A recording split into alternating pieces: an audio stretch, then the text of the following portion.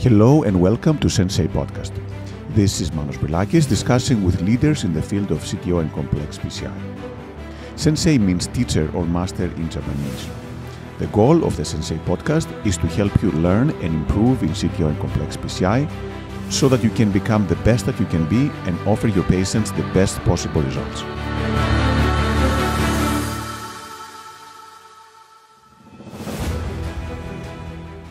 Hello and uh, welcome to Sensei Podcast. It is my great pleasure to introduce Dr. Arasi Maran, who is uh, an associate professor at the Medical University of South Carolina and one of the most amazing uh, CTO operators in North America and around the world. Arashi, welcome and thanks for taking the time to talk to us today.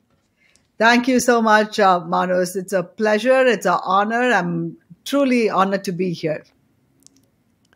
No, thank you so much. And uh, you know, we work together on multiple on multiple venues and uh, events. But um, the goal of this is to see uh, people how was your journey in becoming what you are today, an excellent operator for CTO and complex, and hopefully inspire them and give them some tips and tricks on how to follow the pathway or follow their own route towards success. So maybe we start from the beginning.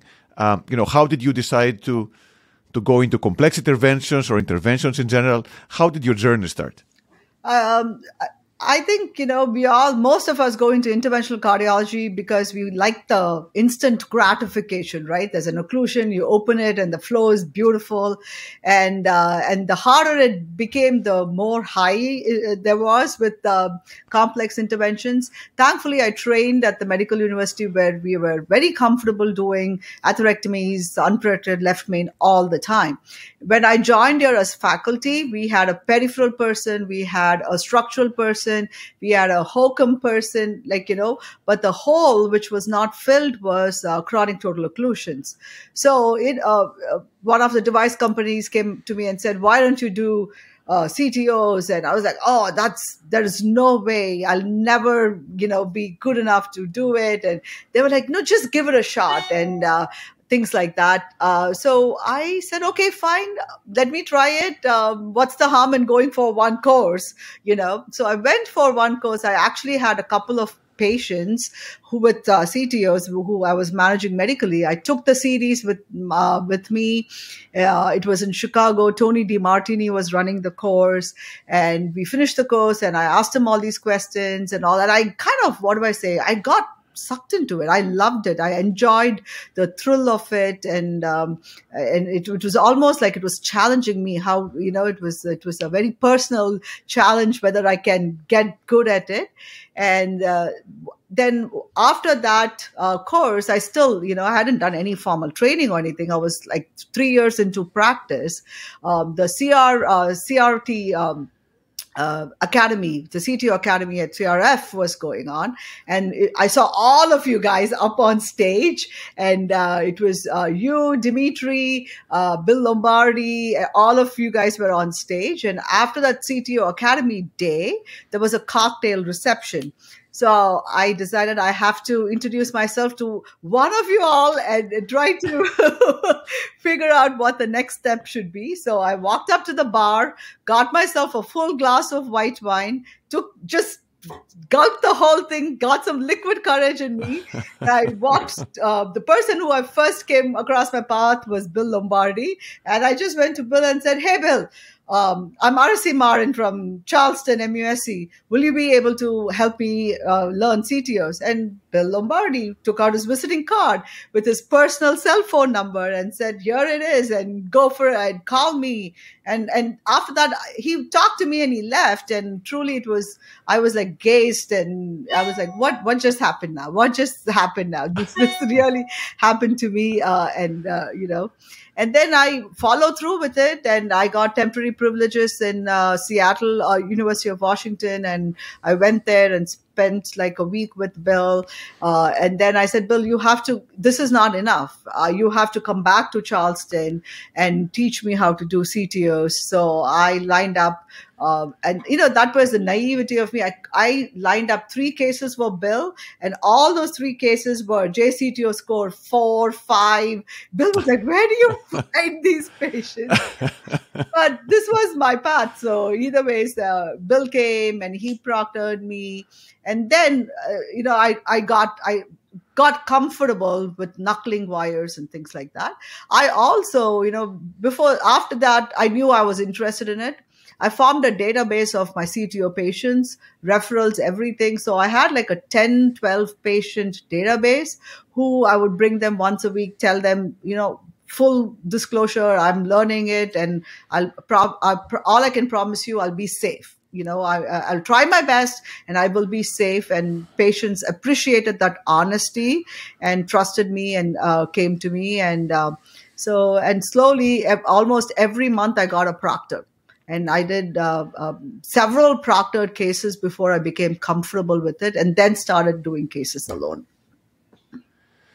Perfect. So essentially, uh, you know, just get inspired, uh, got the courage to go in and dive into right into the action. It looks like. Yes, yes, absolutely. I think it's it's a field sport. You have to be in the field and play the game. And then when you started getting good at it, when did you start feeling good? Like how many cases did it take for you to feel confident that you don't need to get proctors or you can do more complex cases on your own? Funnily enough, I got very comfortable with retrograde PCI, very comfortable. Like, you know, septal collaterals. I think my fourth or fifth septal collaterals, I was like, okay, I can do this. It's okay. ADR was definitely more challenging for me because at that time we just had the Stingray wire until I IVest and saw my wires in the true lumen. I I would be like spasmed everywhere. Oh my God. and then the final angiogram where there's a good flow. I think retrograde CTO PCI was more, you know, once you get the wire, I, I felt very comfortable. Uh, I'm going to have a great result, etc. The steps didn't uh, overwhelm me. Uh, so I think, um, that was uh, antegrade CTOs, antegrade dissection reentry. I needed about 25 to 40 cases almost uh, to be like, okay, I can do a ADR and be comfortable and not be like, oh, what's going to happen kind of a, a sensation, you know? Yeah, and actually that's counterintuitive, right? Because many people are more concerned about the retrograde approach than antegrade. And as you're, I think you're right that many of the advanced antegrade ADR entry can be very, very challenging. Yes. Now, in terms of, I, I of time, I find ADR challenging. Wonderful. So how? So uh, you started doing these cases, and you start doing more and more. Um, how do you keep on learning? Now, people are not coming anymore because you're, you know, fairly fairly good and self sufficient. But do you still learn? Do you feel that you are things to learn? You feel pretty comfortable now with most of your cases there's always new stuff to learn. I mean, there's no full stop to this learning curve at all. I uh, there are so many things I learned. I, I can't. Uh, okay, let me try and uh, think about like when I first came in. Just knuckling was uncomfortable, right? So knuckling was uncomfortable. Then you the first two years obviously my case, case selection was uh, very uh, i was being very selective. So i'd come to cto summit and i'll see the complications and i'll be like how come i'm not having these complications? What is going on? And then i realized i was not pushing the envelope. So when i started pushing the envelope complications were happening. And then i was like oh it so cto pci is not about CTO itself. It's about making sure you manage the complications which comes along the way, and then you can send the patient home safely. So the learning curve is, um, you know, it's infinity. It's an infinite mode, and uh, there is no end to the learning. I, I learn by watching live cases. And when I want to see live cases, I want to see the operator struggle. So I don't want the operator going and wiring it in two seconds. That annoys me. I want to see them struggle and see them work through the problem and the algorithm in their um, end. And that, I, I, think that has a lot of uh, learning potential for me. Uh, so yeah, live cases, all the conferences. I mean, uh, the first beginning stage when I was like considered the early person, I was watching videos after videos after videos. I mean, you watch, you learn so much by watching. No, absolutely. And then, as you said, um, the complications come with the more complex cases, and that's always a fine balance, right? So, what would you say for people? Um, when do you want to embark into the more complex cases? Um, what, is the right time for this? Should he have done several of cases, feel very comfortable? Should they train on CTO complications? Like, what is the transition from the easier cases to the more complex, and what is a good time for that? honestly, I don't know. Sometimes you may not have a choice. You might think, you know, this is a, a, a very easy case, and then you get surprised uh, that this is so hard. And then you, so you better, I don't think you can set yourself, oh, I'm only going to do simple CTOs or only going to do it. You have to train yourself widespread. But obviously, your first case cannot be the only epicardial collateral. That you might have a possibility of choosing, uh, but all cases are going to be complex. My patients initially uh, were all veteran patients, and anyone who's uh, worked in the VA will know the calcium burden of a veteran patient and trying to learn ADR in a calcific vessel. I didn't have a choice. Okay, so so sometimes you don't get the choice, uh, but if you've done 25 to 30 CTOs okay, uh, uh, ADR, wire escalation slash ADR cases, that might be a good time to do septal uh, cases. And um, if 10 to 15 septals, maybe then try an epicardial. Your first epicardial, I would always recommend doing it with a proctor, so that uh, you know, in case you need, you don't have experience coiling things and uh, stuff like that, you have another set of brains helping you out with that. So uh, it's uh, it's a very you know, some people might need only five ADR, but I needed twenty ADRs to get comfortable. So you have to um, personally judge that for yourself. Yeah, absolutely, and about complications. As you say, in the beginning, you're careful you don't get them, or you're lucky you don't get them, but eventually you will. Um, so, how do you learn to manage them apart from learning on the in the job? Oh, you really don't want to learn on the job. That's the worst way to learn complications. Please don't learn complications on the job. Uh, the uh, the courses helped me. Like you know, in all almost all the CTO courses I've been to, the last session is always on complication. I think we should flip that and make that the first session. Like you know, about coils, about fat embolizations, and things like that, and also phoning a friend. I remember I had a distal LAD perforation. It's a wire perforation, but slow and steadily, uh, you know, patient was still building up fluid. And I had to phone a friend and they said, and uh, Bill Lombardi was like, just inject some fat. You know how to do it. Go do it. And you just need that external push. And I was like, okay, fine. I know how to harvest fat. I will do it. And it was done. So building your network, all these conferences complications course itself where, where you have these models where you have these fat globules when you can you know push the uh, uh, fat into the microcatheter watch it uh, float. I think um, you want to learn it outside uh, the patient uh, system.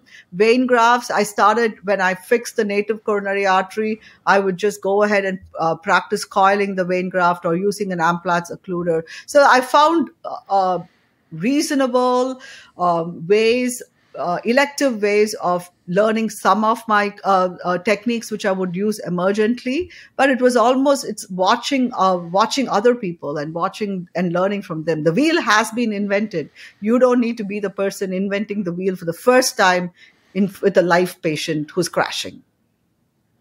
Yeah, excellent points. And actually, in our lab, we do bring one of the coil reps once a year and we have every fellow deploy three or four coils and make sure everyone is comfortable because as you said if you've never done it the perforation time is probably not the best time to learn how to coil. Yes absolutely. So do you get stressed out? I mean you always seem so upbeat and energetic.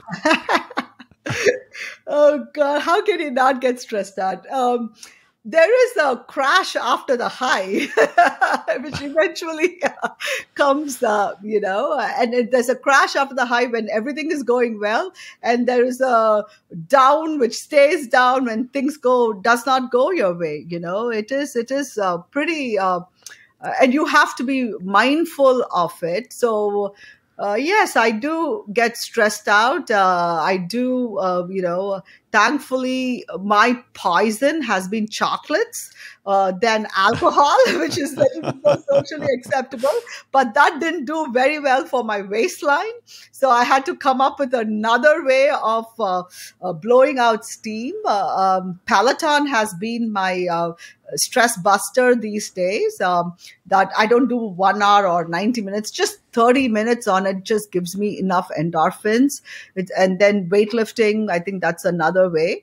And, uh, you know, sometimes you have a CTO case, it goes badly, but you have another CTO case waiting for you or another left main or something. You still have to keep going. Those times I find a call room or a toilet i don't care. I lock myself for 5 minutes or 10 minutes. I put on the calm app and i sit down and you know meditate for 5 minutes or 10 minutes. And that has massively reset my brain and brought my um, uh, kind of like you know puts me back to where I was, uh, so that I can go to the next procedure, uh, you know, fresh as as as much as I can be. So so were you doing that before you took on the CTO Complex PCI, or that came after you started the Complex? No, it was all after my CTO work. before that, you know, life was like life was life. it was no big deal. But it, it could also, I, I mean, you maybe you can tell me, but it was once you I started doing CTO PCI, the complexity of my non-CTO work started increasing. Like you know, I was getting almost every calcific disease, almost uh, lots of surgical uh, turndowns from outside of my university.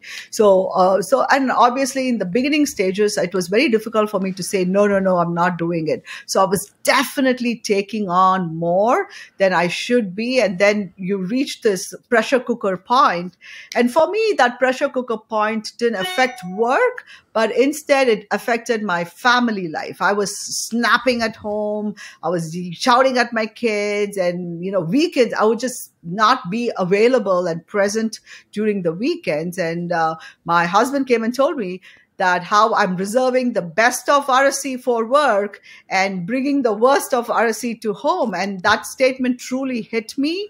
And I was like, okay, fine. I have to change. I have to get better. So I honestly took that as a challenge, like in the sense how I learned to get better at CTOs. I took steps uh, to change my mindset at home with uh, you know i got coaching i started exercising and it was similar to that similar process i have to get better the same mindset i had for cto pci is the same mindset i had for balancing my uh, brain after CTO PCI. So this is when you started the exercise and the and yes. the meditation, and that made a difference. Yeah, big time, big time. Uh, it, it was uh, it was a night and day difference, honestly. so I know many people are going to do the same, but you know many people fall off the wagon. Right? They do it for a little while, but then somehow things fall off. So you've been able to do it now consistently. So how, how did that happen? I, that's life though, right? Uh, I'm, uh, I fall off the wagon multiple times too when, you know, when busy work, vacation, travel. But as long as you get back on the wagon, as long as I'm like, yeah, yeah, yeah. Just because the way I think of it is I made one wrong turn. I'm not going to keep going further, taking more wrong turns and going further away from my destination. I'm just going to recorrect, course correct myself and get back on track. And then how easy was it? I have learned to accept it. Earlier, I used to beat myself. I'm like, oh my God, Arasi, how can you not even, you know, exercise for 30 days in a row? Like, then I was like, this is life. It's not all good. It's not all bad. It's good and bad, and it's okay. And it's fine, you know, as long as I'm not losing it um, at work or at home. I have given myself grace to, it's okay if I skip workout for three days or things like that. Perfect. And I guess like CTO, right? You try plan A. If it doesn't work, you have to go plan B. And yes. you know what happened happened. So absolutely, yeah. absolutely agree with you on that. Now, when it comes to the learning part for the people you are teaching now, you have people coming and learning from you, and obviously the meetings. Um, how do you? Uh, how do you do you try to help people out to select who you're going to help how do you uh, teach the people can you tell who is going to be a good operator or you teach everyone and see what happens? Uh, that's very interesting. I I feel like the people who have taken the steps to come and uh, show interest to come and learn from you, they self select themselves. And even if they come and learn from you, uh, I feel out of 10 people, maybe four might go out and be successful CTO operators. Uh, the other a few might just learn the complex techniques like just the trapping and you know using trap liner microcatheter techniques and uh, then some people will just use wire escalation. I, I i don't aim for all 10 need to be cto operators. I feel if i have benefited or changed their practice to make it a little bit more safer for the patient i have won. I mean that's good enough for me. So my goal is not to make um, all 10 of them CTO operators. And then what techniques work best for them, you think? Is it lecturing them? Is it showing them what happens? Uh, is it uh, having them do it and give them feedback? What is the technique that works best for them to learn? I uh, I think they have to watch. Uh, that definitely is uh, after watching. If you can go to their lab and watch them work, like how I, I, went to Bill's lab, yes, but when Bill came and when I was doing the techniques and when I had to use the force to knuckle a wire, that's what helped me the most. So I think watching and then them watching you and you watching them uh, are the two best ways, in my opinion. Wonderful.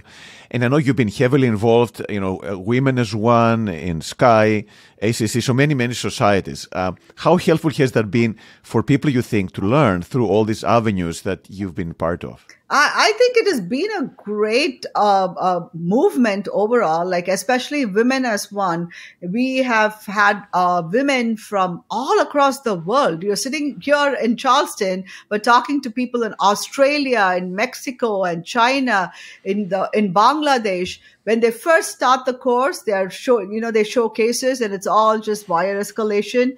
And by the over the course of the three months they have they are showing us retrograde cases. They're showing us adr so i think uh, you know uh, just showing them it can be done and having a close knit group uh, where we are telling them problem solving with them and planning the cases with them i think it's been a very big uh, um, push and it's been a very it's a lot of positive feedback on that. So i enjoy doing it and i find them very helpful for them too yeah, and actually, for people not familiar, Women as One is an organization that helps teach women in all kinds of cardiology. I think now expanding to other parts of medicine to learn complex techniques, leadership skills, essentially help get more women because, as you know, the women are still underrepresented in our field of interventional cardiology. So, and you've been one of the pioneers of that. Oh, and how has that been for you, being a pioneer? Um, you know, bring more women in the area. It's I love it. I you know I've kind of uh, it, it, felt like. Uh,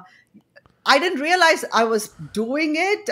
And then I was like, oh, this is what I'm doing. Kind of, I was a very, very reluctant women in cardiology person because I was like, why am I being identified as a woman? My me being woman does not matter. I just want to be recognized as a cardiologist, and I'm an awesome cardiologist. I don't need this tag of women cardiology and stuff like that. So I was very reluctant. And one of my mentors here said, Arasi, like how many, how many has anyone given you a leg up? You've never got any leg ups. You've and here is one little group where you can actually go and talk to them and be a part of it. Why are you refusing it? Just go and i you know i walked in huffing and puffing and stomping and you know all the time rolling my eyes and everything. And but it for me personally that was literally my first break. I showed a one of the SCAI Women in Innovation meetings, I showed uh, LAD CTO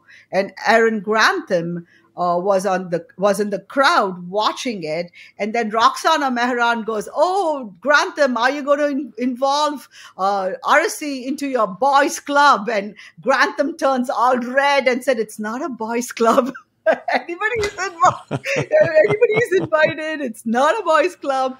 And then that led to an introduction to Grantham, which led him to come to Charleston and proctor a case for me. So, you know, you never know what opportunity is going to lead where. So take all the opportunities and don't be what I was huffing and puffing to go and take this.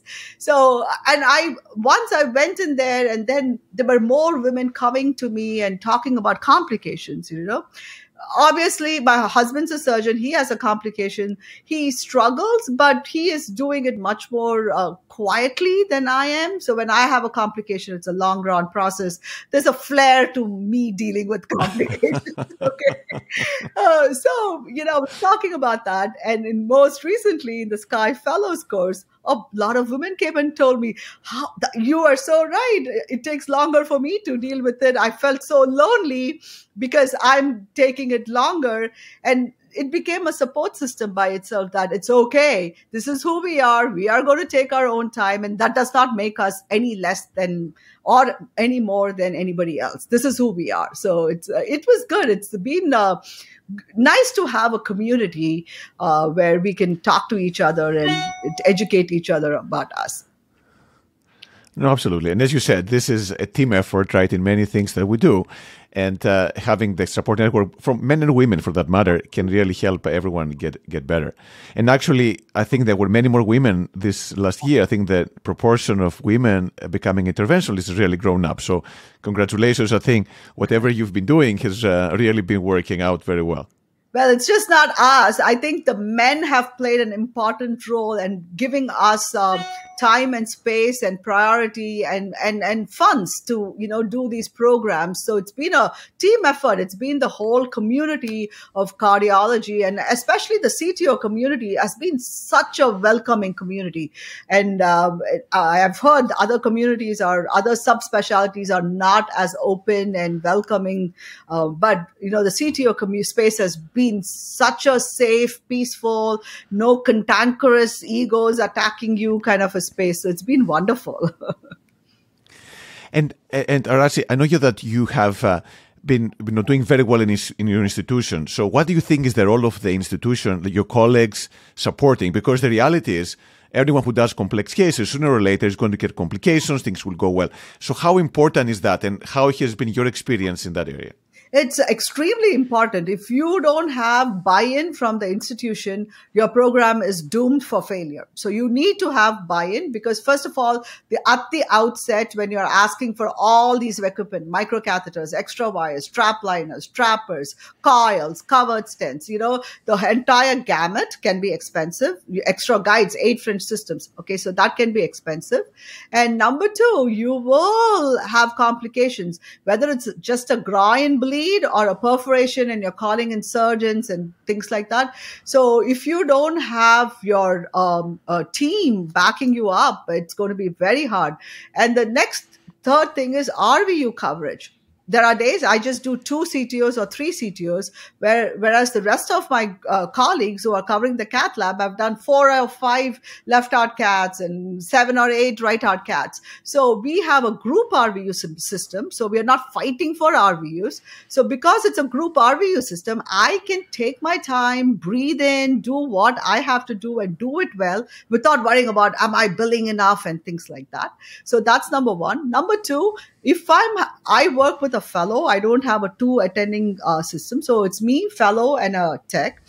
And uh, it's a first year uh, interventional fellow. It's not a complex chip fellow. It's a first year interventional fellow. So when I have a complication, I immediately say, I need help. And the moment I say those three words, there'll be another attending who comes in. Sometimes if they're free, they will scrub in. Otherwise, they'll walk in and out and, you know, give me feedback. Or when I'm doing, uh, putting a covered stent, they will go help drain the pericardium or something like that. So if, if you don't have these key players and you are the only person doing everything and managing complications, you uh, you know talk about stress level talk about burnout you one case you will get burnt out so i think it is the first step is to make sure you have the group buy-in and the uh, institution buy-in before you even go to the uh, uh, next step of learning and things like that yeah excellent point. and i think there are sometimes uh, places where this is not welcome and complications become a big deal and um, scrutinize and it's important to follow the complications and see what happens, how you can improve it. At the same time, again, if there is low tolerance for complications, then complexity of PCI may not be the best uh, location for this um, for these cases. Um, and then in terms of um, uh, personal, as you said, it's a tough job and you've done a good job with stressing out. But um, for people who want to do this, what are avenues that you think can help them uh, go through their learning phase and then sustain their momentum? Especially because the more successful you are, the more complex case you get, as you said. Mm-hmm. So, how can you keep up with that kind of increasing demands on you? Uh, so I think the most important thing is be open to going, make sure you have time to go for all the conferences. Okay. And then you have your own, build your own network of people uh, who you can, you know, take a picture of your case and send them to them and start planning your cases ahead and get different opinions from different friends to say, hey, I would, and you might pick one opinion from there and if that fails you have plan a b and c already discussed about so and then industry like you know work with industry and uh, get your proctors in so when, when you feel like you've made the shift uh, from going from you know cto jcto one or two to three four five that's when you actually need more of your village, your support system to talk to them and find out other options for your case. Or if you have failed a case, take that case with you, go to somebody else's lab, have them do the case, scrub with them. That uh, I've done that too, uh, just so you you learn from it. So every time you don't put a stent and you're just ballooning or you haven't done anything at all, that's the case you are going to discuss over and over again with five different people to know, understand why you failed, what could have been done differently. So you learn from your failures pretty much. Perfect. And then in terms of your um, um, day-to-day operations, do you do those cases on specific days? Are they uh, done every day of the week? How have you ske- arranged your schedule to to do those cases? So I'm in my uh, uh, I do CTOs two days okay? But if i have a cto uh, if i have two ctos i'm not the doc of the day. I'm not doing a right heart cath biopsy in between or something. I'm doing these two ctos and i'm done. If the lab is overwhelmed i might go help out but my responsibility is just those two ctos so that's how i have done it. When i've tried to do cto in the morning and added other cases in the afternoon it gets a little cluttery and you know and you might just do a cto and the next case might be a lad diag bifurcation pci and you're like oh my god. And then the third one might be something. So i just do two ctos or three ctos and i'm done. And it helps my lab also. They are in the cto mode and um, they're also you know uh, like it that way. And how long does it take you to prepare for a case? Uh, so prior to um, I, I can't give you a time because I'm like, if Tuesday is my CTO day, from Friday onwards, I'm checking the angiogram over and over again. Like I see the pre-procedure angiogram several times. Let me put it that way, several times. uh, I can't tell. In between my clinic patients, I'll be looking at them and I'll be thinking about that. And if it is a truly a complex case or something, I'm thinking some. I'm not looking at a uh, uh, horse and I'm thinking zebras, I'm making phone calls. I'm, uh, you know, I'm, I'm, making phone calls to people and coming up with a plan, talking it out to everyone. Uh, so I can't give you a particular time, but the pre-procedure angiogram is being looked at several, several times. Like despite the several times when my fellow is getting access, I'm sitting in the control room, I'm re-looking and re-looking. Have I missed something? Is there something else? And if there's any attending, even a non-CTO operator, I would be like, come and tell me, what are you thinking? So, you know, one, many brains, as many brains I can involve in planning, I, I, I use all of them. so I can't give you a Perfect. particular time. Perfect. And are there any cases that stick to your mind that have been very instructive in a good or bad way? Uh, so far?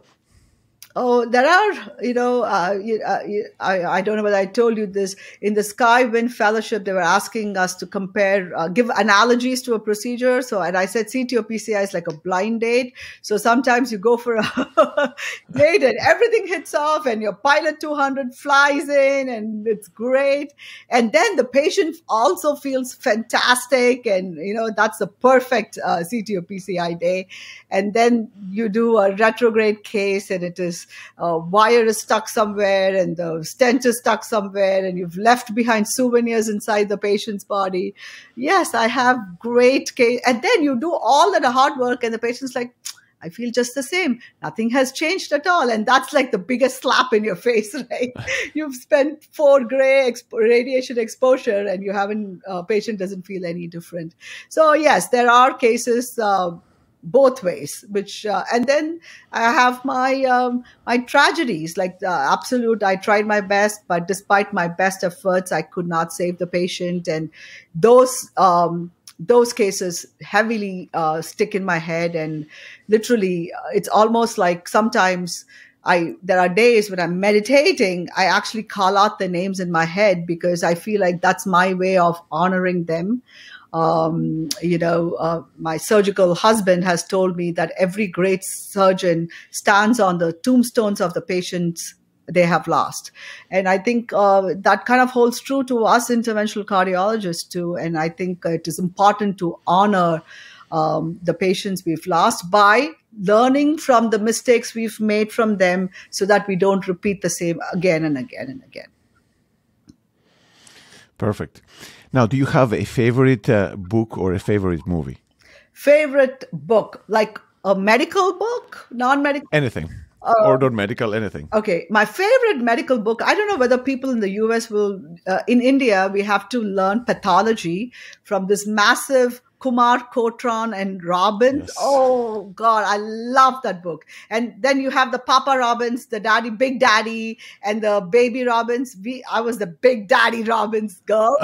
I loved the Big Daddy Robbins, and I truly like you know because our pathology was almost one and a half years. So we've I have learned that entire book in medical school. So I that's my favorite medical book non-favorite uh, medical uh, non-favorite book um, i'm a big harry potter head. I have read and read and reread the entire harry potter series like a million times.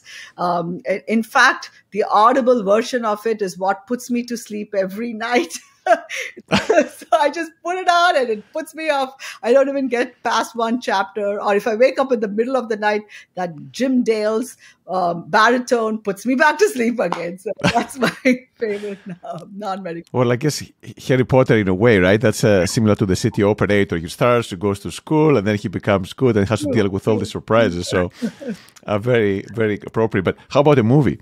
My favorite movie. Mm, I'm, you know, I truly loved the uh, the Avengers series. I was a big Avenger Marvel girl. Tony Stark is still my favorite. You know, this, you know, I want to do CTO PCI one day, like Tony Stark, put my hand here, put my hand there, and find the robot and do it like that. So I truly, I think Iron Man 1 might be my favorite movie so far. I just love the, uh, the computer graphics in that. And, you know, and I'm like, why are we not doing like that? When is that going to happen to us in the uh, interventional world? Well, maybe sooner than we think. Yes, I'm hoping. I'm very hopeful. what excites you most right now? What, uh, like work wise? Anywhere, work or personal hunk of calcium, man. I'm telling you, when I see a calcific hunk, I'm like, yes, I'm going to get you. that truly gets to me and it breaks. It's almost like, oh, I'm not doing that case. This person is doing that case. I want that case so badly. So, how much of a, like, calcium is the thing I love to hate. I love it so much and I want to hate it, but I love it a lot. So, I want to, I want to show it who's the boss kind of a situation. So, yes, calcium excites me a lot. Uh, outside of work, I think hanging out my with my friends and my family, my kids, uh, go visiting India. I'm getting ready to go home, so that you know, uh, home, home, family, and home is, is what would be the next outside of work. Well, it looks like uh, calcium is in trouble in your lab. Doesn't have many chances there. no, is, sometimes I win. Great. Sometimes calcium does win over me. So I have learned to respect that damn calcium. and what is next for you? What is uh, the next plans for you? Oh, oh it's a com. I truly, truly, you know, um, want to. I feel like my creativity is limited because the time I spent in cath lab. I want to explore my creative slash entrepreneurial side of things very baby steps i mean like in the found some foundation scratching in the paper stage um, I, I i I want to explore more. I feel like there's, I, I want more out of life and this is great. I want more. I'm a greedy person. That's the secret to success. All right. Again, this was amazing. A, a lot of, uh, you know, intuition and a lot of great advice for the incoming uh, trainees. But if you had to summarize in a couple of three key points for them to take home, um, find your passion. Okay don't give up keep trying and just if this is what you want just go for it don't let anything stop you and it takes a village find your develop your support system. It, it's not there for you to go but it is if you ask for help it is there. But if you don't ask for help no one's going to help you. So that would be my three or more takeaway points Wonderful. Well, again, thank you so much. You have a great trip to India. I really appreciate you taking the time today, and uh, we'll see you, I'm sure, soon in a couple of months in the next meeting. Thank you so much, Manos. It's, it was fantastic.